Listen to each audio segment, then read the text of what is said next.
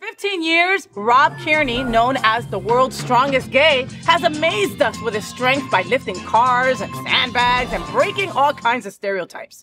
Kearney recently retired, finishing with a personal best at the 2024 World's Strongest Man event in Myrtle Beach, South Carolina, recording the fastest time in the car walk contest. With his rainbow beard on full display, Kearney expressed gratitude for his career and thanked his husband Joey for unwavering support. His journey inspires the LGBTQ plus community to chase their dreams. Watch this. Well, that's it. The end of my career. It's, still really weird to say, but really fortunate that I went out on the best event of my life. I went out with an overall win, a win in my group, the fastest time of the competition on the car walk. Had an amazing reaction to the crowd, lots of tears, lots of emotion, and yeah, it feels surreal. I don't think it's really sunken in just yet.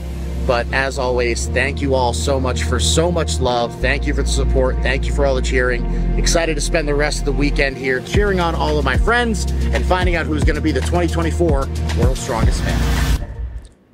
World's Strongest Gay retires. What are we all talking about? I love that he loves his boo. I love him and his husband. I just found out about them a few weeks ago, and he's had a long career. He's had a long career. Very long yes, career. and he came out during his career. During his Jay. career, like, It wasn't like you know, um, most people once you're in and you're playing a sport or doing something like that to that capacity, right?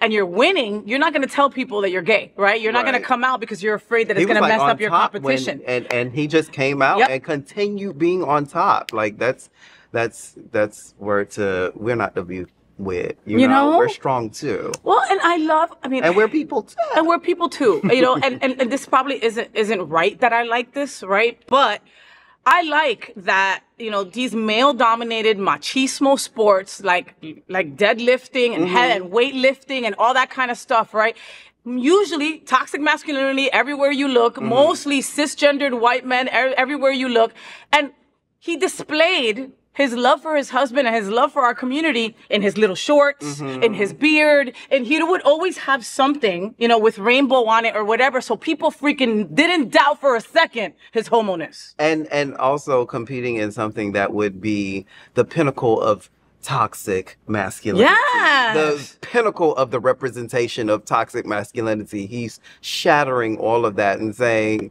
Bitch, we gay too. What? We're here too. but- we hello. But think about it. Who is gonna F with somebody that can fucking pick up a car? and walk it.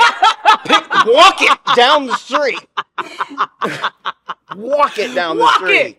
it. Walk I- it. actually, I when I learned about him a few weeks ago, I went and watched a strongman competition. Mm-hmm.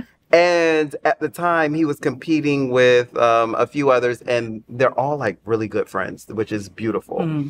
But they were pulling a semi.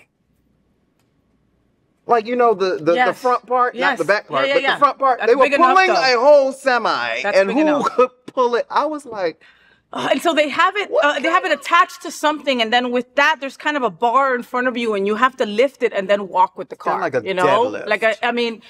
On a side note, this is not Kearney. This is not him. Um, but I also saw a competition where somebody had to pull a car with their penis. oh, oh, oh God, Jesus.